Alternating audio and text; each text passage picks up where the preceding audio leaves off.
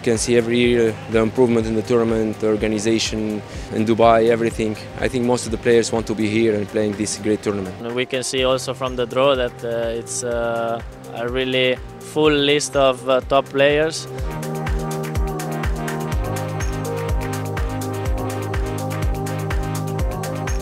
Novak Djokovic is here this year, and um, you know he's won our tournament five times. Roger Federer has won it eight times. If I were Novak Djokovic, I'd be looking to see when I'll pass out eight. I'm sure he's really motivated to be here and to, to perform in uh, front of a crowd and in this amazing tournament.